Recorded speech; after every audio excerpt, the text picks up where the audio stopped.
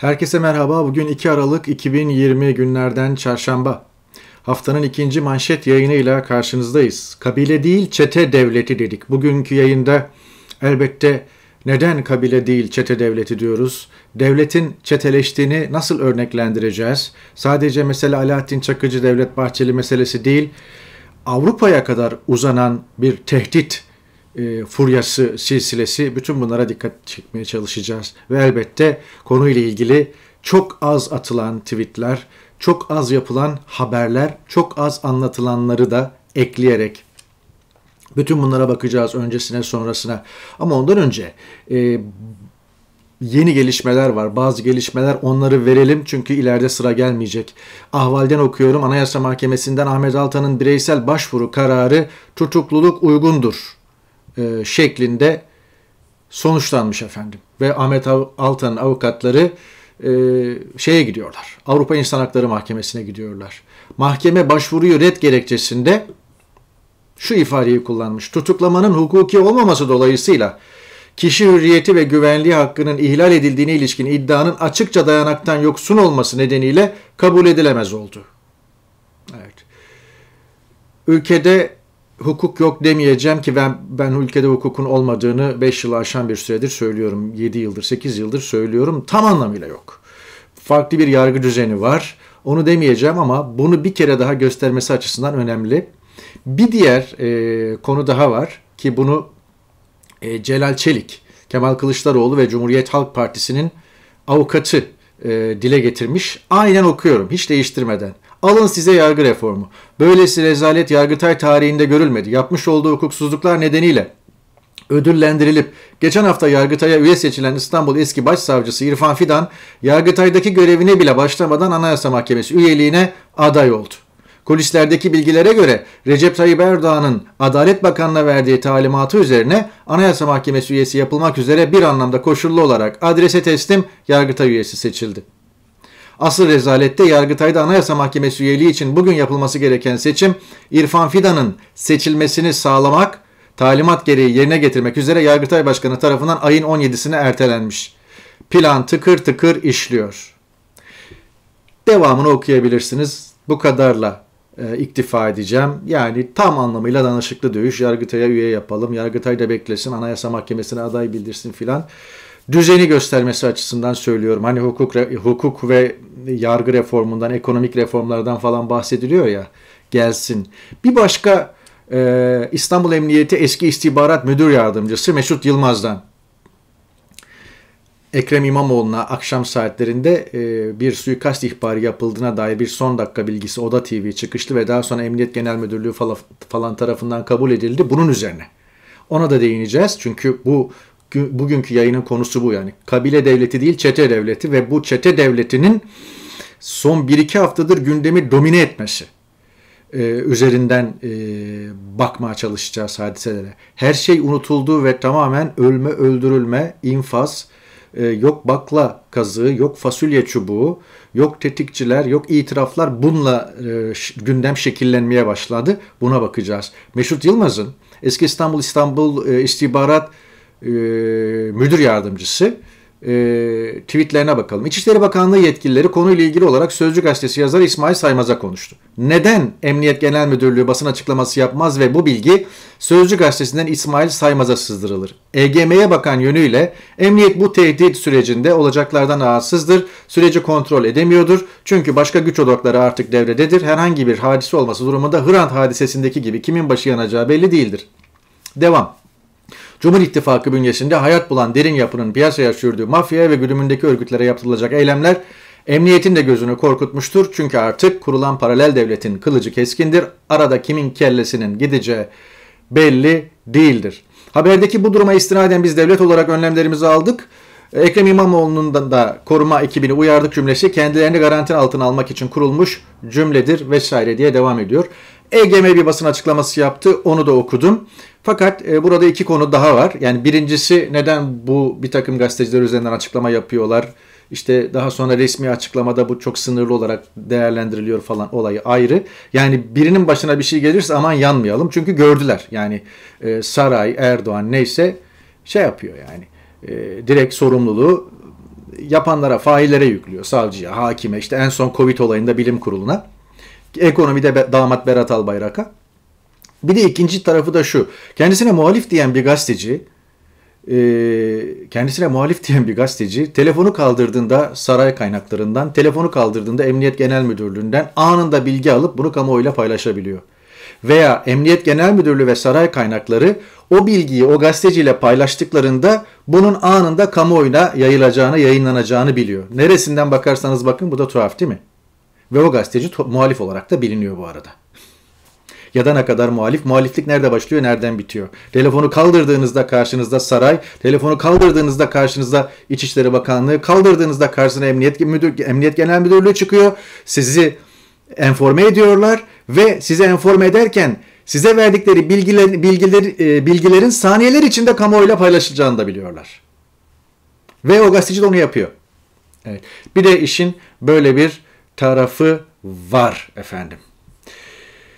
Son dakika gelişmelerinden biri daha doğrusu günün gelişmesi İngiltere Pfizer-BioNTech'e onay verdi. Aşılamanın yakında başlaması bekleniyor. Gerçekten büyük bir heyecan dalgasına yol açtı. Benim yaşadığım İngiltere'de bu. Sabahtan beri BBC seyrediyorum.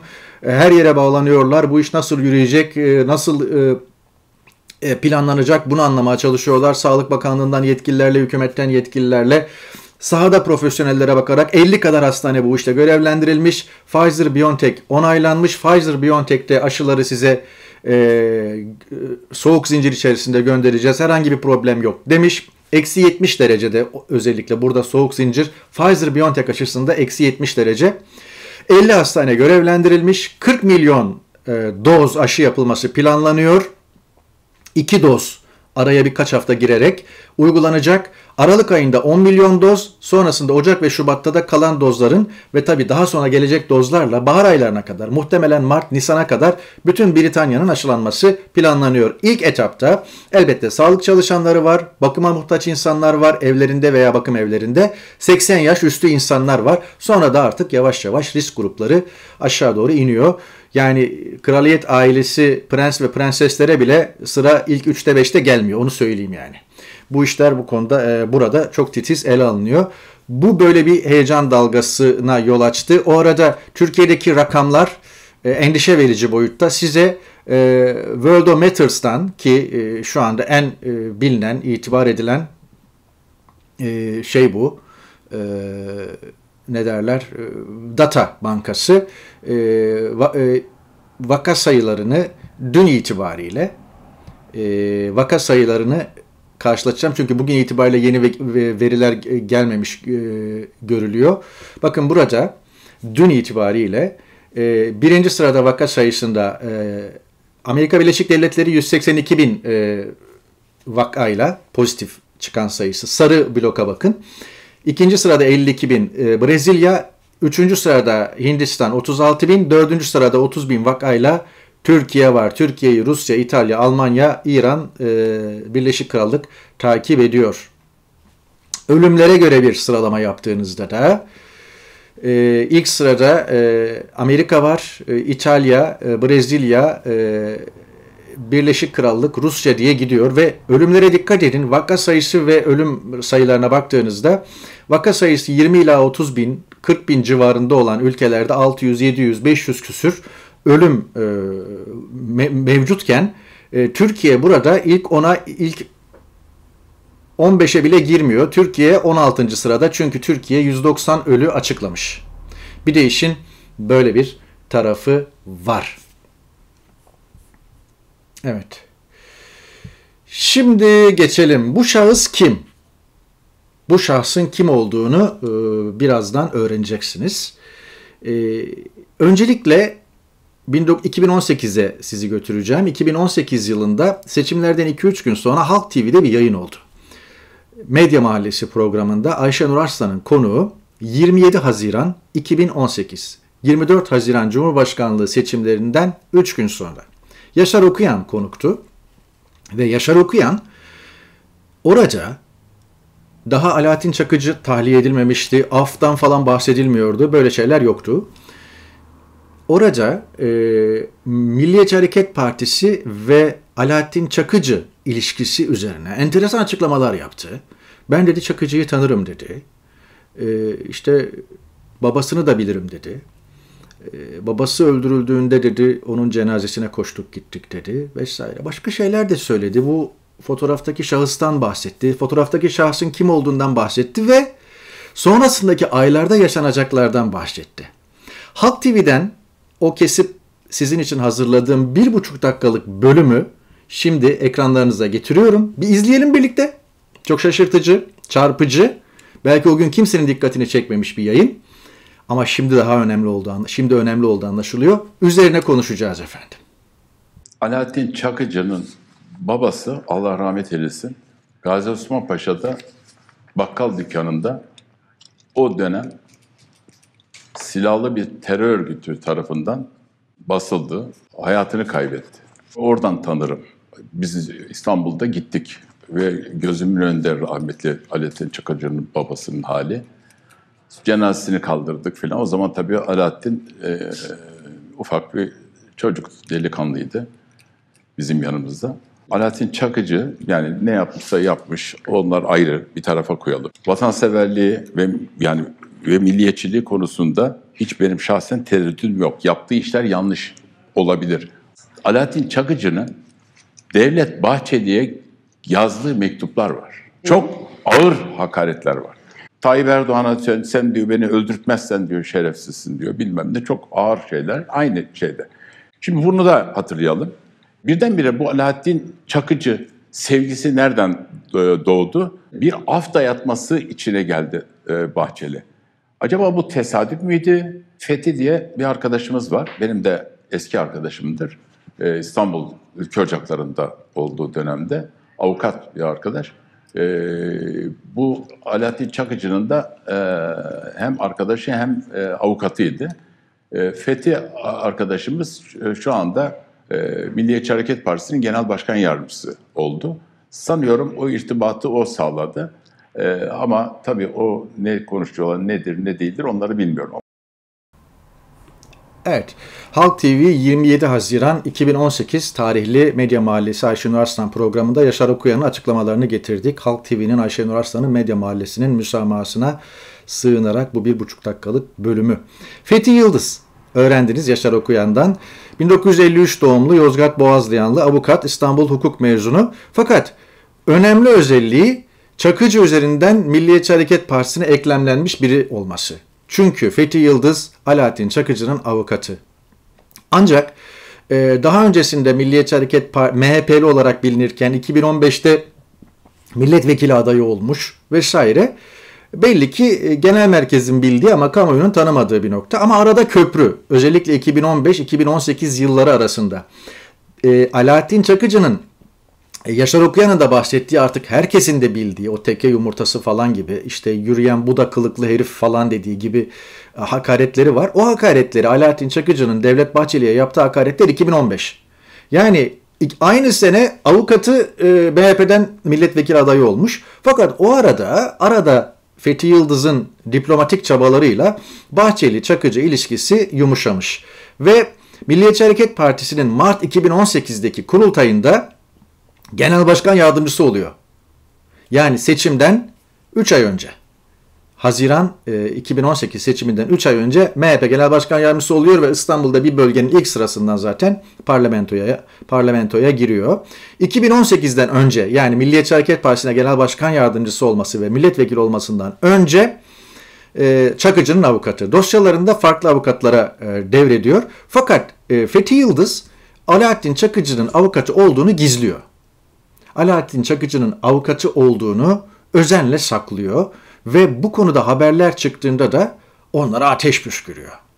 Ve e, Fethi Yıldız işte burada da işte genel merkezde Devlet Bahçeli'nin yanında görülen şahıs. Bir takım haberler çıktığında da ateş e, püskürüyor. Mesela ben bir tanesini e, ekrana getireceğim.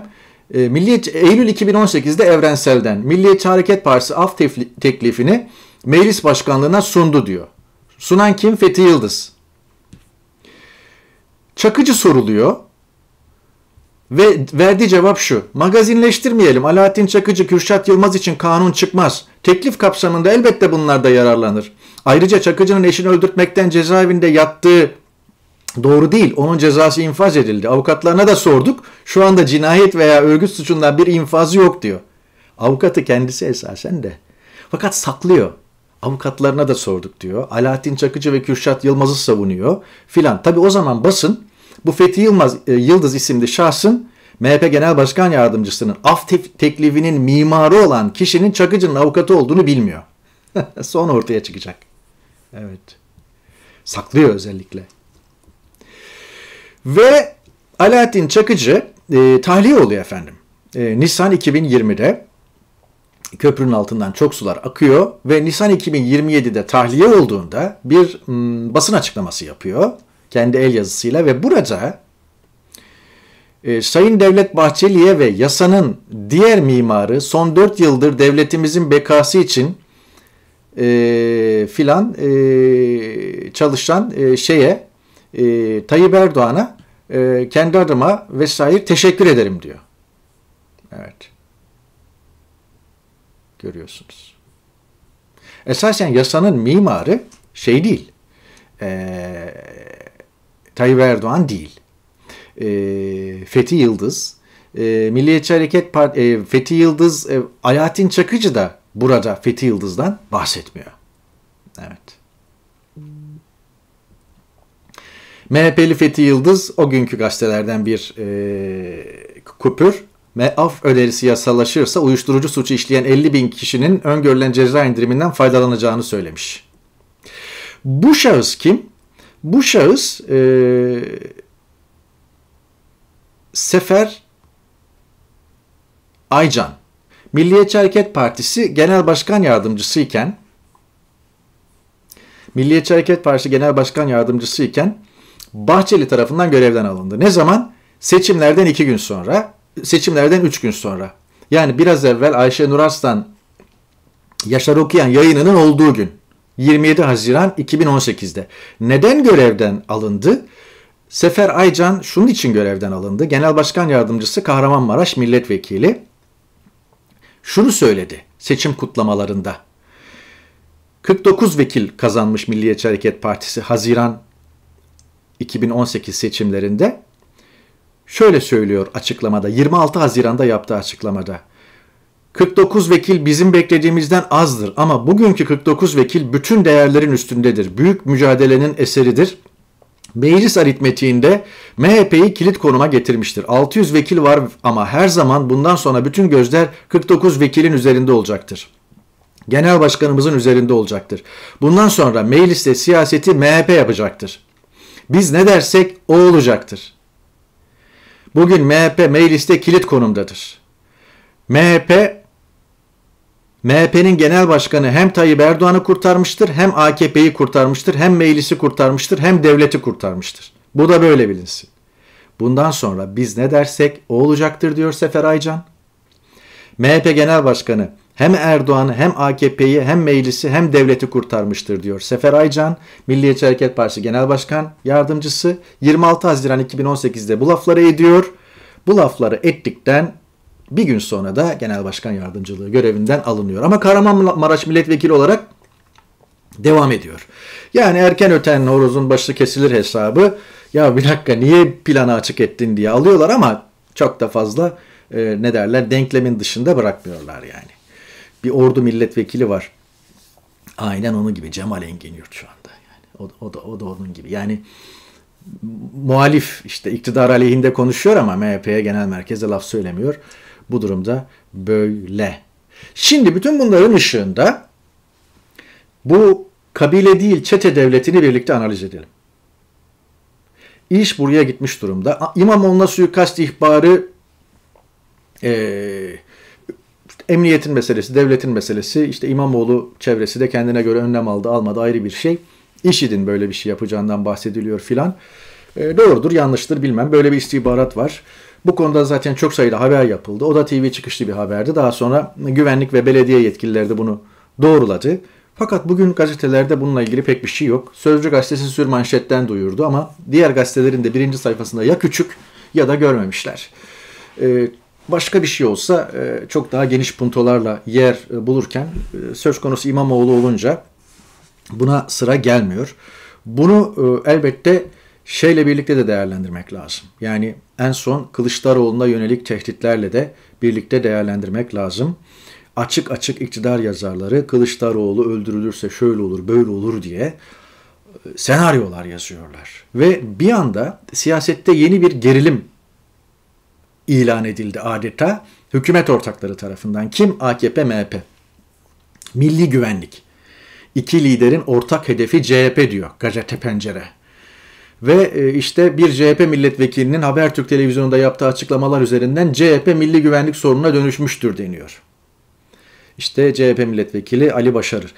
İsmini cismini kimsenin duymadığı bir milletvekili kendi 15 dakikasını yaşadı. İşte efendim e, tank palet fabrikasının e, Katar'a satılmasından hareketle ordu satılmıştır gibi bir cümle kurdu. Sonra da bu cümleyi geri aldı. Benim kastettiğim tank palet fabrikası e, ulusal bir konudur. %100 yerli olmalıdır.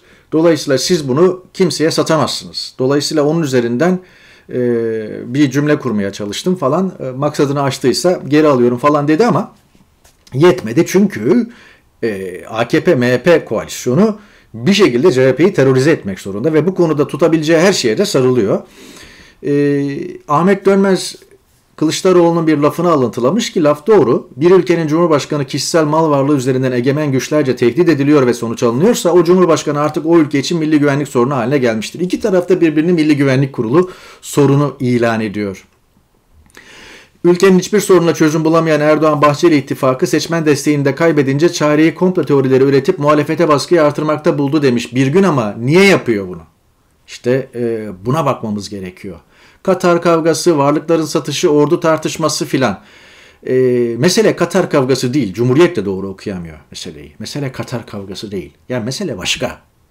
İşte Yeni Şafak'ın attığı manşet. Yani bunu yani bir şeytanlaştırma içerisindeler ve tuhaf bir şekilde e, muhalefet unsurları da alıyor aynı e, volümde karşı tarafa e, topu iade ediyor veya işte efendim onlar da bu kavganın veya bu şeyin içine girmiş durumdalar. Polemiğin içine sert bir biçimde girmiş durumdalar. CHP demokrasi sorunudur diyor AKP sözcüsü. Filan. Yani e, iş bu noktaya gelmiş durumda. Bir iki tweet getireceğim. Hmm, kısmen katıldığım. Can Dündar devlet suikastçıyı arıyorsa, İmamoğlu ve tehdit altında yaşayan muhalifleri koruyacaksa ilk yapması gereken Erdoğan Bahçeli ikilisine bakmak onları susturmaktır. Onlar bu zehirli dille konuştukça onlara karşı koyan herkesin hayatı tehlike altındadır diyor. Said Sefa, devletin bekası için fert feda edilebilir fikrine sahip ideolojik bağlarla birbirine bağlı mafyatik, mafyatik çeteler devlete hizmet ettik derken devlet adına işledikleri cinayetleri kastediyorlar. Bu çeteler şimdi de devletin bekası Cumhur İttifakı'na bağlı diye düşünüyor. Kılıçdaroğlu'na tehditler İmamoğlu'na istihbari veri adı altında. Aba altından sopa göstermeler tesadüf değil, devlet farklı çetelerin bilek güreşi yaptığı bir arenaya dönüştü. Önemli muhalif aktörlerin tamamı tehdit altında, çetelerle mücadele edecek bir güç kalmadı diyor. Ve Savaş Genç iktidar oyununda ilk defa seçimle gitme olasılıkları doğduğu günlerde muhaliflere mafya ve terör örgütlerini kullanarak ölüm tehditleri saçmaya başladılar. Bu sürece dur, dur diyecek tek bir kurum kalmadı. Seçilmekten başka şansı olmayan adamın alamayacağı risk yoktur demiş. Evet.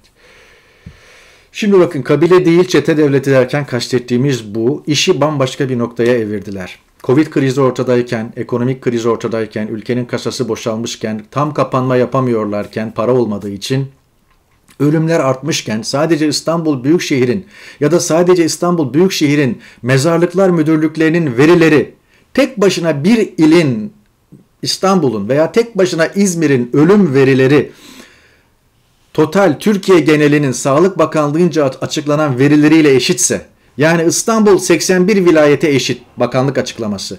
İzmir 81 vilayete eşit ölüm anlamında çıkıyorsa yani bakanlık gerçekleri saklıyorsa vaka anlamında hastanelik olanlar anlamında ve ölümler anlamında muazzam bir kandırmaca e, oynanıyorsa hemen her alanda büyüme rakamları üzerinden yani bakın size bir şey getireceğim. Başka bir şey getirmeyeceğim ekrana. 2020'nin 3. çeyreğinin bir önceki yılın aynı çeyreğine göre değişme oranı. Bakın bütün ülkeler solda ekside. Avrupa Birliği, Euro bölgesi, Portekiz'inden Polonya'sına, Romanya'sına, Macaristan'ına, Belçika, Danimarka, İngiltere, Almanya, şey, e, Avusturya, e, İsveç, Amerika hepsi eskide, ekside. Bir Türkiye 6.7 ile artıda. Böyle bir şey olabilir mi? Eşyanın tabiatına uygun mu? Hiçbir ülke pozitif bir şey açıklamıyor ve herkes ileriye dönük negatif uyarılarla 2020'de acı reçete içeceğiz. Kötü geçecek diyorlar. 2020 ekonomi en iyi en iyimser ekonomistler 2022'nin 21 değil 2022'nin 2022'nin son çeyreğinden itibaren normalleşme adımlarının atılabileceğinden falan bahsediyor. Siz 6.7 büyüme açıklıyorsunuz. Başka bir kupür getirmeme, başka bir haber getirmeme gerek yok. Onlarca seçtim. Vakti israf etmemek için atlıyorum. Başka bir yayında kullan kullanırım ama sadece bu tablo bile yeterliydi. Dolayısıyla e, çeteler üzerinden iş görülüyor. Bu çeteler üzerinden bütün ülke parsellenmiş durumda. Bütün ülke satılmış durumda ve hala da satılıyor. Siz zannediyor musunuz ki bu iş bir seçimle değişecek? Siz zannediyor musunuz ki bu kadar suça batmış bir insan apartman yöneticiliğini devlet devreder gibi devlet yöneticiliğini sonraki seçimle gelen insanlara devredecek? Eğer buna inanıyorsanız aklınızı çok affedersiniz peynir ekmekle yemişsiniz demektir. Ve bugün ekranlarda seçimden işte bu iktidar devrilmeli, muhalefet şu konuşan insanlar da bu işin idrakinde değiller. Belki de o havuzda oldukları için bu işin idrakinde değiller. Bunu böyle koymak gerekiyor. Bu kadar suça batmış, bu kadar her yeri parsellemiş, milletin geleceğini de satmış, ipotek altına almış, 20 yılını 30 yılını ve gittikleri anda, devrildikleri anda her şeyin baş aşağı gideceğini ve kendilerinin de bir daha gün yüzü görmeyeceğini gören bu ekip saray kadrosuyla, bürokrasisiyle, bakanlık kadrolarıyla, yargı kadrolarıyla, medya kadrolarıyla duman oluruz. Bir muhalif rüzgar eserse diyen bu ekip siz zannediyor musunuz ki köy muhtarlığını devreder gibi Ankara'yı devredecek? İşte çete devleti bunun için kuruldu. Ve şu anda gündemde de zaten Türkiye'yi domine etmiş durumdalar ve bu konuşuluyor. Kılıçdaroğlu'na suikast, Ekrem İmamoğlu'na suikast, işte Kılıçdaroğlu yumruklayanlar arkalarında hükümet desteğiyle küçücük adliye salonunda Levent Gök anlatmış. Adliye salonundaydık diyor. Kılıçdaroğlu'nun yumruklanması davası. Sanıklara baktım geneli itibariyle arkamızda hükümet var. Rahatlığı içindeydiler diyor. Dönün gelin Özgürüz'de Can Dündar'la yaptığı söyleşiye bakarsınız Berivan Arslan'ın. Gidiyorlar Avrupa'daki milletvekillerini, Avrupa'daki gazetecileri tehdit ediyorlar. Avrupa'daki gazeteciler korumalarla dolaşıyor. Avrupa'daki milletvekilleri, Türkiye kökenli milletvekilleri korumalarla dolaşıyor. Berivan Arslan 11 haftadır tehdit aldığı için ev hapsinde. MIT beni görevlendirdi Berivan Arslan'a suikast düzenlemek üzere diyen kişi aylar sonra ifadesini değiştirdi. Ama Berivan Arslan'ın koruması devam ediyor. Öte yandan Berivan Arslan'ın orada anlattığı hikaye. Rahip Bronson öldürüleceği istihbaratı alınınca ki o da ortaya çıktı. AKP İzmir örgütü vesaire. Amerika tarafından hemen kaçırılıyor ülkeden. Bir başka elçilik görevlisi bir gizli tanık ifadesiyle tutuklanmış Amerikan elçiliği görevlisi gizli tanık Avrupa'ya çıktığında benim önüme bir boş kağıt verdiler ben de onu imzaladım diyor. Feyyaz Ö isimli birisi. Dikkatinizi çekerim hepsi böyle. Türkiye'deki on binlerce tutuklu, on binlerce siyasi tutuklu böyle bomboş kağıta atılan ifadelerle tutulu, tutuklu. Gerçeklerin ortaya çıkmak gibi kötü bir huyu var ama çıkacak bir gün. Ama Türkiye'de kurulan kabile değil, çete devleti uzantıları, ağları Ukrayna'sından Arjantin'e, Arjantin'e, oradan Viyana'ya kadar, Amerika'ya kadar hatırlayın Amerika'da bir lobi kurulmuş, milyon dolarlar vaat edilmiş ve o milyon dolarlar üzerinden Trump yönetimiyle köprüler kurulup işte Gülen'in kaçırılması falan planlanmaya çalışılmıştı. Bunlar da hep ortaya çıktı ve bunlar hep dünya basınında yayınlanan konular. Ve ondan dolayıdır ki Avrupa artık e, bozkurtları kapatıyor. MHP uzantısı camilere kuşkuyla bakıyor. AKP camileri işte efendim burada istihbarat yapılıyor. Burada farklı işler dönüyor diye. Türkiye'de kurulan ve Türkiye'de bir anlamda insanların ve rakiplerin insanlara ve rakiplere, normal sıradan halka ve rakiplere korku salmak üzere inşa edilen sistem aynı şekilde dünyada da rahat durmuyor. Sıkıntı dünya bunun farkında. Önlem almaya çalışıyor. Sıkıntı Türkiye muhalefeti ve Türkiye halkları bunun farkında değil. Kabile değil çete devleti. Bir yayını daha böylelikle kapatıyorum. Özgürüz Ork'ta Can Dündar'ın Berivan Arslan'la söyleşisini seyredin daha iyi anlayacaksınız. Çete devletini. Türkiye'de de Ekrem İmamoğlu Kılıçdaroğlu üzerinden kopartılan şeytanlaştırma e, fırtınasını farklı bir gözle bakmaya çalışarak biraz da bu yönüyle okumaya çalışın. Cuma günü tekrar görüşmek umuduyla hoşçakalın. Güne bakış döndü Turan Görür Yılmaz'la. Salı Perşembe Turan Görür Yılmaz'la güne bakış günü. Yarın güne bakış var. Ertesi gün Cuma haftanın son manşetini gene birlikte atmak üzere sözleşiyoruz efendim. Hoşçakalın.